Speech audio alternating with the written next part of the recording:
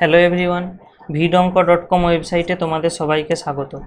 আমি সৌরভ দে, তোমাদের math tutor এখানে যে প্রশ্নটি নিয়ে আলোচনা করব, দেখো এখানে আমাদের এক্সের মান দেওয়া আছে এবং এক্স ওয়াই সমান এক দেওয়া আছে, তাহলে আমাদের এই সম্পর্কটা প্রুভ করতে হবে।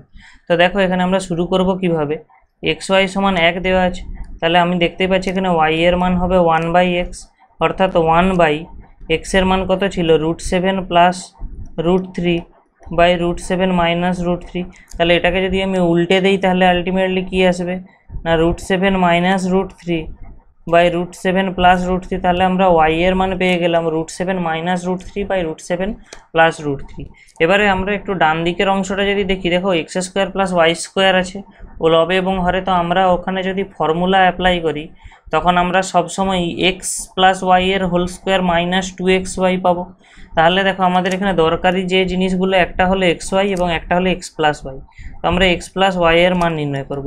এক্স প্লাস ওয়াই কী আসবে দেখো এক্সের মান দেওয়া ছিল root seven plus root three by root seven minus root three Y এর মান ছিল root seven minus root three by root seven plus root three তাহলে আমরা লসাগু যদি করে দিই, কী আসবে? Root seven minus root three into root seven plus root three এবং লসাগুর জন্য উপরে আসবে এখানে root seven plus root three square plus root seven minus root three square তাহলে আমরা উপরের অংশটাকে যদি ভাঙি seven plus three plus two root seven into root three এবং এখান থেকে আসবে seven plus three minus two root seven into root three তো দেখো এই দুটো অংশ একই হওয়ার জন্য কেটে যাচ্ছে, এবং নিচে দেখো এখানে রুট সেভেনের স্কোয়ার আছে, এবং এখানে রয়েছে রুট থ্রি স্কোয়ার ওকে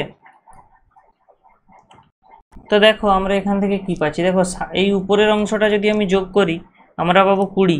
এবং নিচে আমাদের আসবে সাত মাইনাস তিন। অর্থাৎ এখান থেকে আসবে কুড়ি বাই চার। অর্থাৎ আমরা এটা কাটাকাটি করলে আমরা পাবো পাঁচ। তাহলে দেখো আমরা এখান থেকে দুটো জিনিস পেলাম।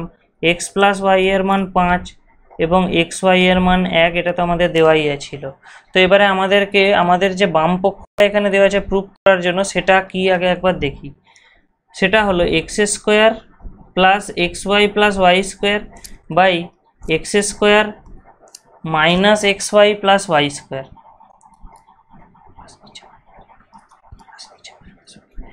X square plus X Y plus Y square by X square minus X Y plus Y square এটাই ছিল আমাদের বাম পক্ষ তাহলে দেখো এখানে আমরা এই এক্স স্কোয়ার এবং ওয়াই স্কোয়ারকে পাশাপাশি এনে যদি স্কোয়ারের ফর্মুলা ফেলাই মানে এক্স স্কোয়ার প্লাস ওয়াই স্কোয়ারের ফর্মুলা ফেলে আমরা কি পাবো এক্স প্লাস ওয়াই এর whole square minus two X Y এবং এখানে আমাদের একটা প্লাস এক্স ওয়াই ছিল এবং আমরা নিচে পাবো এক্স প্লাস ওয়াই এর whole square minus two X Y এবং আমাদের এখানে মাইনাস একটা এক্স ওয়াই ছিল।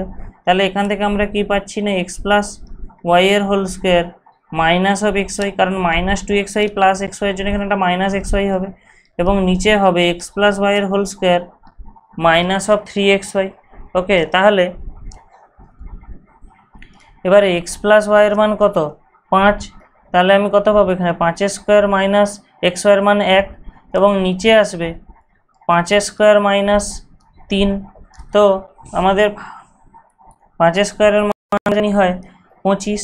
তাহলে এখান থেকে কী পাবো? পঁচিশ মাইনাস এক বাই পঁচিশ মাইনাস তিন।